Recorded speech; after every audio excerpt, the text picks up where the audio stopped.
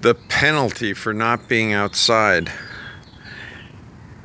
He was up there, and she was up there too. Hey, gatito.